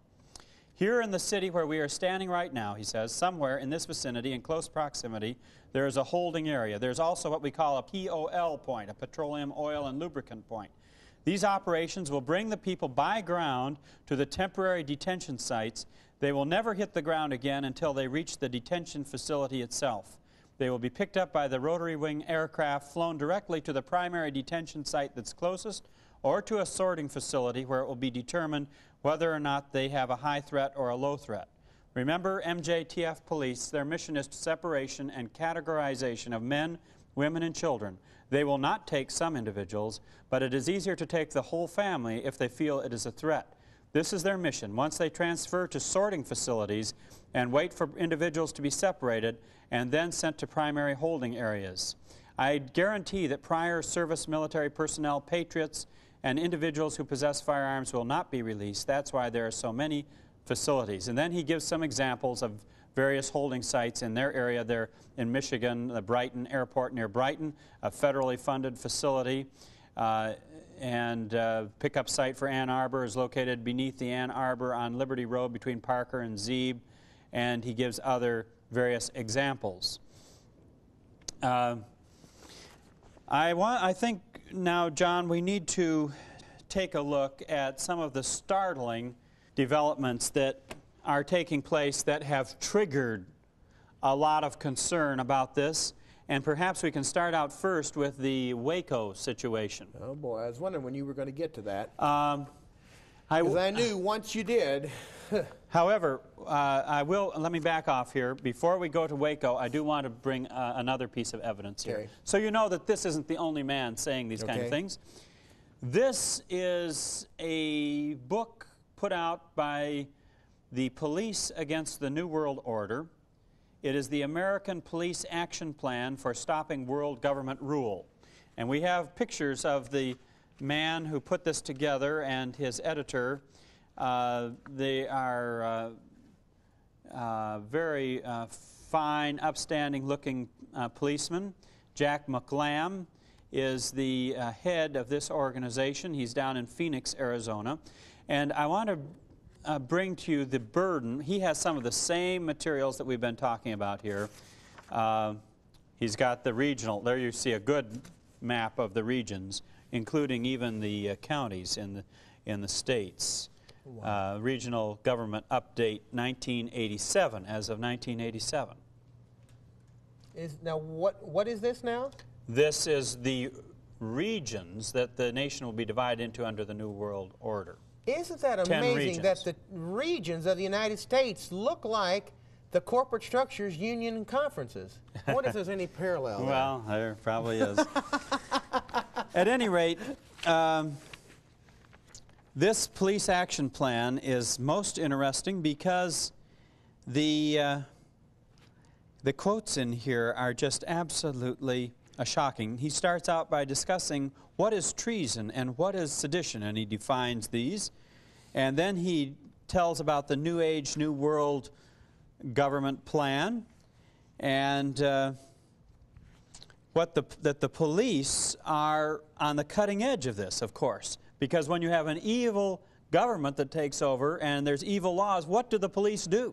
Will they submit to that? Will they go along with the system and act like the policemen did in Germany? Or will they stand up for the Constitution against the New World Order? And what their hope is, is to get the police on their side. Of course, we know with the nationalization of the police, they'll just get rid of those kind of policemen and keep the ones that submit to them. Uh, here is a statement from Thomas Jefferson. Single acts of tyranny may be ascribed to the accidental opinion of a day, but a series of oppressions begun at a distinguished period and pursued unalterably through every change of ministers or administrations too plainly proves a deliberate, systematic plan of reducing us to slavery. That's Thomas Jefferson. Um, another founder said, When the government fears the people, there is liberty. When the people fear the government, there is tyranny. And then he tells about George Bush and his speech of September 11, 1990, which was entitled Toward a New World Order, and where he addressed the subject of the Gulf War and said that this war against Iraq was, quote, a rare opportunity to move toward an historic period of cooperation. Out of these troubled times, a new world order can emerge. And now George Washington, September 1996, said, the great rule of conduct for us in regard to foreign nations is in extending our commercial relations to have as little political connection as possible. Why, by interweaving our destiny with that of any part of Europe, entangle our peace and prosperity in the toils of European ambition, rivalships, interest, humor, or caprice? It is our true policy to steer clear of permanent alliances with any portion of the foreign world. That was George Washington. Wow. What a different situation than the Wow. Trilateral Commission, the Council on Foreign Relations, the Bilderbergers, the Club of Rome, the New World Order people. What our founders, what our forefathers of this nation would do if they could see and understand and know what is happening now. Well, we know what position the they'd take. foundations and the founders and the ancestors and our pioneers would do in this in this corporate structure of our Seventh Adventist Church if they could see and know what was going on now. I mean, the parallels. I keep the, the parallels between our country and our and our denominational structure is so unbelievable. That's right. And here we have Adam Weishaupt, professor at Germany's Ingolstadt University. We've spoken about him already. He founded the Order of the Illuminati May 1, 1776. Upon establishing his Order of the Illuminati, he smugly reflects on his conning of the gullible Christians of his day. He said, quote, the most wonderful thing of all is that the distinguished Lutheran and Calvinist theologians who belong to our order really believe that they see in it, that is the Illuminati, the true and genuine sense of Christian religion. O mortal man, is there anything you cannot be made to believe? And then Jack McLamb attacks the one world religion movement and ecumenicalism. He says, a high percentage of Christians today are still being conned in the same way. One prime example of this are the millions of Christians and most church denominations who have fallen for the New World Order plan of a one world religion, being spearheaded by the United Nations National and World Council of Churches behind the battle cry ecumenicalism. So, see, there's other people that are opposing ecumenicalism. Benjamin Disraeli, who was Prime Minister of England in 1844 said the world is governed by very different personages from what is imagined by those who are not behind the scenes. Now, I'm bringing some of these in to show that we aren't the only people who are talking about this kind of thing. Winston Churchill, Prime Minister of England, stated to the London press in 1922 From the days of Spartacus Weishaupt, Karl Marx, Trotsky, Bela Kun, Rosa Luxemburg, and Emma Goldman, this world conspiracy has been steadily growing. This conspiracy played a de definitive, recognizable role in the tragedy of the French Revolution. It has been the mainspring of every subversive movement during the 19th century and now at last, this band of extraordinary personalities from the underworld of the great cities of Europe and America have gripped the Russian people by the hair of their head and have become the undisputed masters of that enormous empire. That was right after the Bolshevik Revolution. He knew what it was. It was the Illuminati. That's Churchill. Bless his heart. Now, we're in good company, John. One of the great men of all time. I tell you, if, if these people think we're nuts, then we're in with Churchill and all Churchill of these people. Churchill was laughed to scorn, Bob, when he was telling him what the Nazis were That's doing. right. That's they right. the people of England laughed him to scorn, told him he was a raving maniac on the lunatic fringe, right. some wild-eyed fanatic. And isn't it amazing that seven, several years later, when his when his prophecies came to fruition, they made him prime minister. That's right. Suddenly he wasn't a nut. Suddenly he was one of the greatest men in, in, in their nation. and they flashed from one ship to another across the British fleet. Winston is back. Winston is back. And people felt relieved that Ah, Winston okay, was the only thing I'm going to say, folks, save these videos. save these videos. We don't we don't say that we're prophets by any stretch of the imagination, but I tell you, he that hath eyes let him see, he that hath ears let him hear. Put this stuff together, folks. Save these videos. They may be valuable. Justice Felix Frankfurter, U.S. Supreme Court Justice, said the real rulers in Washington are invisible and exercise power from behind the scenes. John F. Hylan, mayor of New York from 1918 to 1925, said the real menace of our republic is the invisible government which, like a giant octopus, sprawls its slimy legs over our cities and states and nation. Franklin Roosevelt, U.S. President, in a letter written November 21, 1933, to Colonel E. Mandell House, states The real truth of the matter is, as you and I know, that a financial element in the large centers has owned the government of the U.S. since the days of Andrew Jackson. Uh, Carroll Quigley from. His name keeps popping right. up. You've used him in other Professor, videos. pro- and this one too, professor of history at Georgetown University, member of the CFR, stated in his book Tragedy and Hope, I have it here, I showed Yeah, it right. The Council on Foreign Relations, CFR, is the American branch of a society which originated in England and believes national boundaries should be obliterated and one world rule established. Incidentally, that's exactly what the Pope believes according to Malachi Martin. Professor Quigley, according to his book, was totally dedicated to the One World Government program. Hundreds of our city, state, and national politicians are members of this and other New World Order groups. Governor Clinton, for example, attended Georgetown University and stated that this, his mentor, Professor Quigley, taught him so many wonderful things. And then Barry Goldwater, U.S. Senator from Arizona, when in his book, With No Apologies, stated this The Trilateral Commission is international and is intended to be the vehicle for multinational consolidation of the commercial and banking interests by seizing control of the political government of the United States. The Trilateral Commission represents a skillful, coordinated effort to seize control and consolidate the four centers of power political, monetary, intellectual, and ecclesiastical. Hmm. Very interesting. David Rockefeller, internationalist, billionaire, humanist, CFR, kingpin, founder of the Trilateral Commission, World Order Godfather. He spoke to his fellow conspirators at a meeting in June 1991 in Baden Baden, Germany, the Bilderbergers. And if I'm not mistaken, that was the meeting that Bill Clinton was invited to. He said, and note this we are grateful to the Washington Post, the New York Times, Time Magazine, and other great publications whose directors have attended our meetings and respected their promises of discretion for almost 40 years. In other words, they were careful what they reported. He went on to explain it would have been impossible for us to develop our plan for the world if we had been subject to the bright lights of publicity during those years. But the world is now more sophisticated and prepared to march toward a world government. The supranational sovereignty of an intellectual elite and world bankers is surely preferable to the national auto-determination practiced in past centuries. All right, more on the media here, and this is from John Swinton, the former chief of staff for the New York Times. He was called one of America's best-loved newspapermen, called by his peers the dean of his profession. He was asked in 1953 to give a toast before the New York Press Club and he made this monumentally important and revealing statement. He is quoted as follows, quote, there is no such thing at this date of the world's history in America as an independent press. You know it, and I know it. There is not one of you who dares to write your honest opinions, and if you did, you know beforehand that it would never appear in print. I am paid weekly for keeping my honest opinion out of the paper I am connected with. Others of you are paid similar salaries for similar things, and any of you who would be so foolish as to write honest opinions would be out on the streets looking for another job.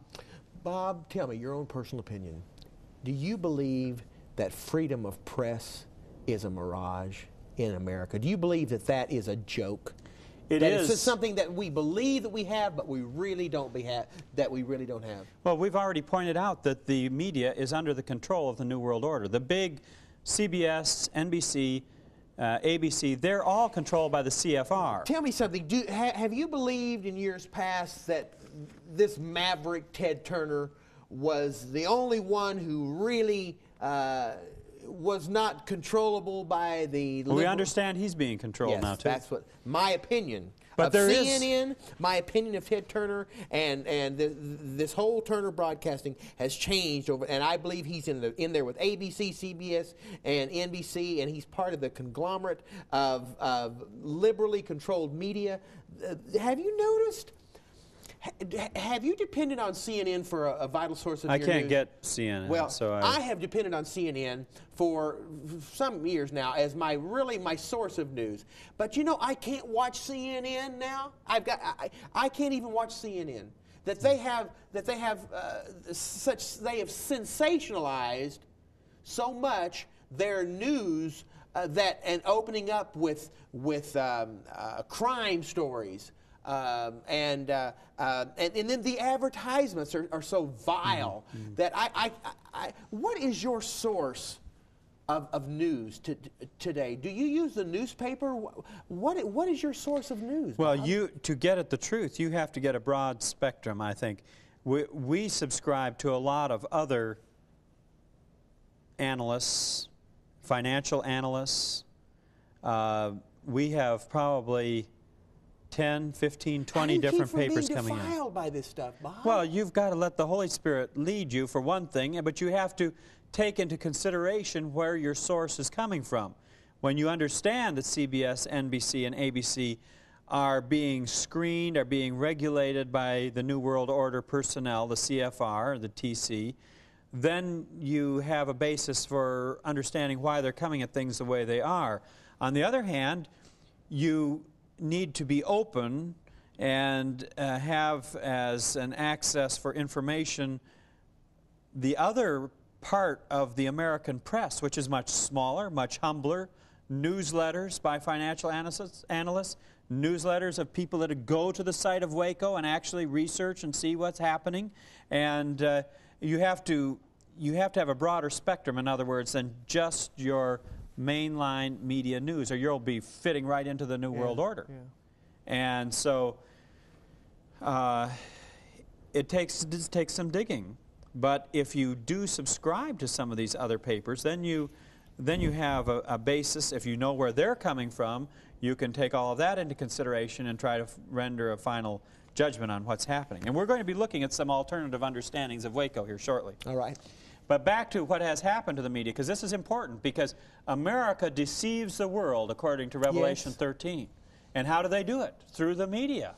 And uh, listen, when we were in Germany, everybody watches CNN. They have CNN in German. They have Yeah. it in French. They have it in Belgian. They have it in, in, in Danish. They, they have it, you know, all over Europe. Everybody watches CNN. It's, it has become the world Yeah. uh, news source. The business of, of the journalist is to destroy the truth, to lie outright. This is the, what this best loved newspaperman of America said to pervert, to vilify, to fawn at the feet of mammon, and to sell his country and his race for his daily bread. You know it, and I know it, and what folly is this toasting an independent press? We are the tools and vassals of rich men behind the scenes. We are the jumping jacks, they pull the strings, and we dance. Our talents, our possibilities, and our lives are all the property of other men. We are intellectual prostitutes. Okay, when you read uh, books like Kiss the Boys Goodbye, which we mentioned earlier in this taping, the person who, the journalist who is pursuing the truth immediately finds himself up against a life threatening situation. People are afraid to talk, they're afraid to tell what they know. They may make contact with them in some noisy business area where they mumble and speak in coded language. And, and finally, as, credi- as credibility is established and credentials are established, they'll open up gradually. But they have to be very careful what they say because their life is on the line. Did they, do these people know what they're getting into when they start? They don't. They don't usually know.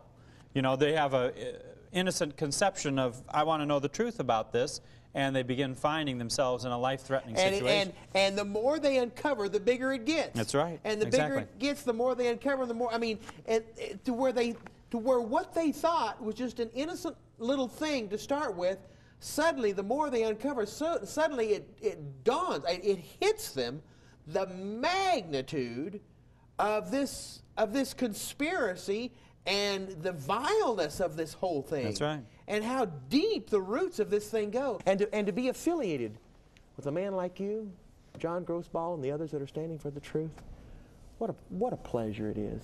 And as you are teaching us and showing us this stuff right here about what's going on in our country, surely those with spiritual discernment can see that that's exactly what has happened and is happening within the corporate structure. The parallels are just unbelievable. well, this struggle over the media is exactly the struggle we're in And within our see, own structure. the journalists today in the, in, the, in the national media are having to make the same decision that historic Adventists have to make. Am I going to tell the truth? Am I going to say unpopular things? You know, uh, po- politically incorrect things. You see, I'm not worried about being politically correct and saying all the politically correct things. I'm going to say the truth That's right. and you see, that's what these journalists have to decide. That's what historic Adventists have to decide today. Are they going to tell the truth or are they going to be politically correct? Are they going to say the things that are popular and all the right buzzwords within the denomination right now that makes you popular? Or are you going to tell them the truth? That's the decision that every person has to make. You know, John, Jesus said that he that willeth to do his will, that is God's will, shall know of the doctrine whether it be of God or no. And it takes this kind of an attitude of wanting to have the truth at all costs. Buy the truth and sell it not. Absolutely. And for those who fail to walk down that road, they will never be part of the 144,000 because Ellen White says none but those that take a bold and unyielding stand for the truth will be able to stand through the last great conflict. Amen. Now, I have a whole book on this subject uh, written by a Frenchman, Jean Francois Revel The Flight from Truth, the Reign of Deceit in the Age of Information. Are there any journalists in the United States that are telling the truth who dare to tell the truth, Bob? And if they do, what happens to them? I believe there are, but they're not part of the main media. When you watch the main media, and, and think of this when you, ever, when you see them again, they're reading something. Someone told them to read. They're, they're reading a script there, you know, a teleprompter. They're sitting right there and, and reading the script, and you're listening to a script that was prepared by somebody else. They're just a, a fashion person up there reading the script. But that script is being crafted by people who are under the control of the CFR. Now, this battle over the media is going on in our nation. Where are the people going to get their information from? Going Uh, on Thomas- in our church. Thomas, it's going on in our structure, and that's why the structure is saying don't read anything from the independent ministries. Why do they say that? Because they don't want people to have access to the free press. They want them to only hear the propaganda that comes down through the pipeline, through the Adventist Review and Insight Magazine and uh, Liberty Magazine see, and those the, things. The, the freedom of press, the freedom of speech, is there's not only a battle of that going on in the United States, there's a battle going on in the corporate structure of Seventh day Adventists over the freedom of press. That's why they tell the people burn those publications that are not, quote, authorized by, by the conference. You read that letter from, Ni- from Nigeria, That's from right. the Seventh day Adventist Nigerian. Conference, where it told the Adventist people to burn any of these publications from the independent ministries. That's right. I, there are books coming out wrestling and trying to come to grips with this whole issue. And I remember, I'm trying to remember what book I saw this in, but they quoted Thomas Jefferson, who said, If I have to take a choice between newspapers, and he's talking about newspapers that give the truth,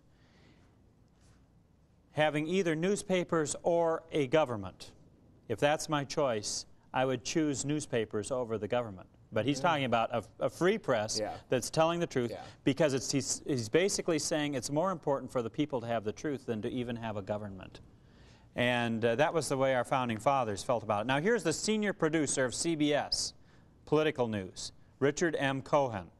He said, quote, We are going to impose our agenda on the coverage by dealing with issues and subjects that we choose to deal with, end quote. Richard Salant, former president of CBS News, stated, Our job is to give people not what they want, but what we decide they ought to have. Yeah. Now, this is CBS. Yeah. Here's Norman Thomas, for many years the U.S. socialist presidential candidate. He said the American people will never knowingly adopt socialism. But under the name of liberalism, they will adopt every fragment of the socialist program until one day America will be a socialist nation without knowing how it happened. And the Seventh day Adventist, professed Seventh Adventist people will never accept Sunday worship at face value. It will be insidiously right. brought upon them step by step through little steps of compromise to the corporate structure to will one day they will accept Sunday worship and not even know it. And they will be Sunday keepers and never even know it. And the United States, this is exactly what this man said, will one day become socialist, will be socialist and not even know it. They're being maneuvered into that right now. Absolutely, being Uh, maneuvered. maneuvered into it, and if they cut themselves off from all access to people who are pursuing the truth at the cost of their lives and are putting their lives on the line to give the people the truth, if they cut themselves off from those sources, there's not much hope for them. Uh, here are some other quotes. The for- foreign editor of the New York Times from 1950 to 1960, Herman Dinsmore, said the New York Times is deliberately pitched to the liberal, or that is socialist, point of view. Walter Cronkite said news reporters are certainly liberal and left of center, that is socialist. Barbara Walters said the news media in general are liberals. Their own, admitting it. There they are. George Bush, 1991, said, My vision of a new world order foresees a United Nations with a revitalized peacekeeping function. And he said, It is the sacred principles enshrined in the UN Charter to which we will henceforth pledge our allegiance. UN building, he was speaking February 1st, 1992. Pledging allegiance to the UN Charter. We grew up pledging allegiance to what? Um, America and the flag United States and the America, nation to for the which it stood. for which it stands. to the republic for which it stands. John E. Rankin, U.S. Congressman, said the United Nations is the greatest fraud in all history. Its purpose is to destroy the United States. Now, just think that one through a little bit.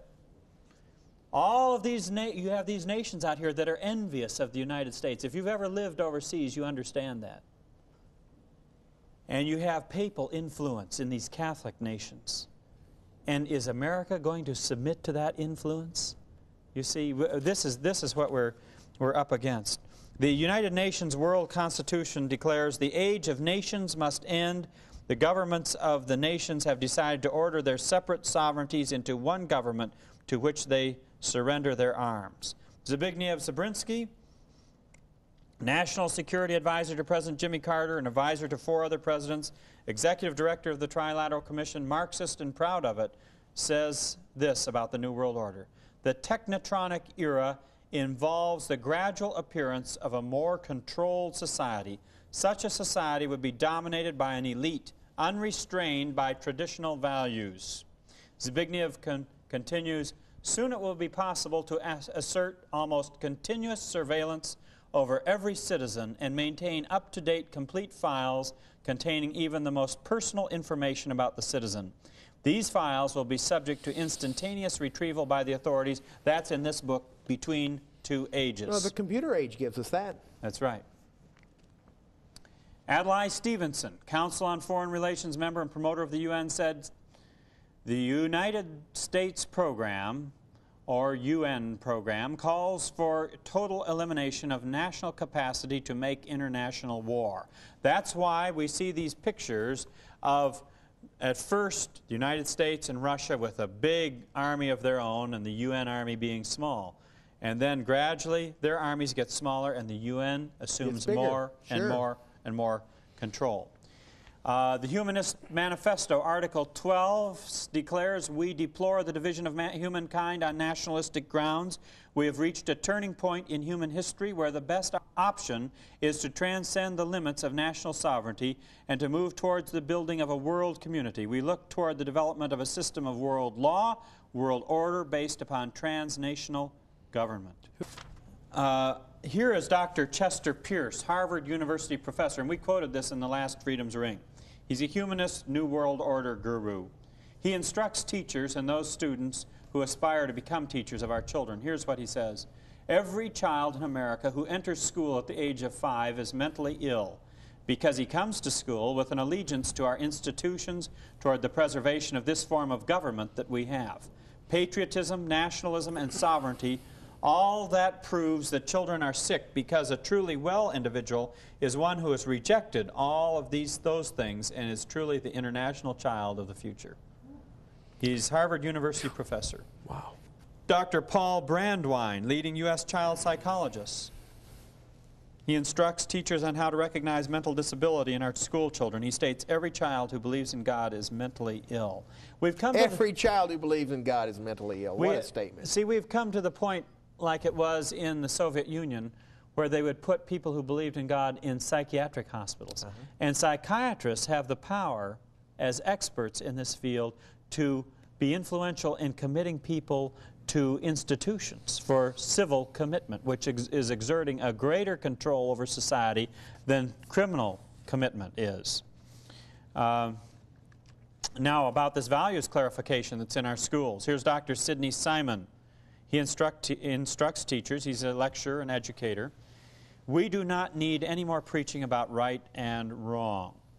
The old thou shalt not simply are not relevant. Values clarification is a method for teachers to change the values of children without getting caught. Psychiatrists are leading the way in uh, in this. And here we have from a book, The Soviet Art of Brainwashing, a synthesis of the Russian textbook on psychopolitics, written by Kenneth Goff. He writes this, during my training, I was trained in psychopolitics. This is the art of capturing the minds of a nation through brainwashing and fake mental health. Page 37. The Great Delusion, Will You Be Caught? This is the police action against the New World Order. Called America's Greatest Female Writer, Ellen G. White said it like this. Hey, man, where is this? Page 37 of this report. Oh, and he talks of... He's quoting Ellen White. Amen. The last great delusion is soon to open before us. Antichrist is to perform his marvelous works in our sight.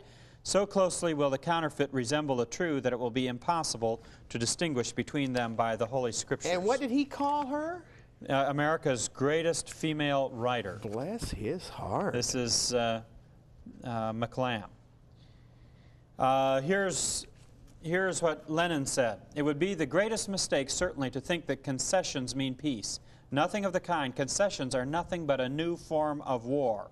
Mikhail Gorbachev, at the 70th anniversary of the Bolshevik Revolution in 1987, said, On October 1917, we parted with the old world, rejecting it once and for all. We are moving toward a new world, a world of communism. We shall never turn off that road. And that's Gorbachev in 87. In his speech to the Soviet Politburo, November 1987, he said, Gentlemen, comrades, do not be concerned about all you hear about glasnost and perestroika and democracy in the coming years. These are primarily for outward consumption. There will be no significant internal changes in the Soviet Union other than for cosmetic purposes. Our purpose is to disarm the Americans and let them fall asleep. We want to accomplish three things. Who says this now? Gorbachev. Ah, One, we want the Americans to withdraw conventional forces from Europe. Two, we want them to withdraw nuclear forces from Europe. Three, we want the Americans to stop proceeding with strategic defense initiative. Star Wars. And you see, this is what has happened. Exactly what has happened. Now, here's some facts about uh, what is going on. Here's General Sir Walter Walker, former NATO commander-in-chief. Following the phony Soviet coup, he said, quote, I consider it my duty. Now, this is a former NATO commander-in-chief. Uh-huh. I consider it my duty to tell you of the extremely dangerous threats that lie ahead. I know for certain that we are now in a period of the greatest strategic deception, perhaps in all history. The Cold War is not over, only in the state of remission. The Soviet Union is not truly on the verge of collapse. Western defense, on the other hand, is. This is hmm. the former NATO commander in hmm. chief. Fact Russian intelligence agencies are working as hard as ever at espionage in the U.S. Both the DCI, Robert Gates, and FBI Director William Sessions, at that time, have spoken out on the high level of Russian intelligence collection efforts in recent months, now known by its Russian acronym SVR. Senior FBI counterintelligence official Wayne Gilbert states the same thing. There has been no apparent reduction in covert intelligence gathering here by the Russians. And uh, fact, the KGB is still in control. We've talked about that. Fact, America and Canada are disarming unilaterally. Fact, unknown to the masses, each of the nations that have split off from the defunct Soviet Union is presently covertly led by hardline communists. Fact, the defunct Soviet military is presently building more offensive weapons of all types than at any time in its history. Production rate, one tank division per month. Koernke says it's one and a half, as I recall. Uh, tank division. That's a lot of tanks. A tank division per month. Wow. 700 new fighter aircraft, approximately 58 per month in 1991 and 1992. One nuclear submarine every two months. And they've got the um, uh, ti- titanium hulls that we don't even have one. It is a- it which is- is the deep penetration. It is estimated that they have close to five years' food supply stored up now. The food supply in America is down to three to four months in our reserve.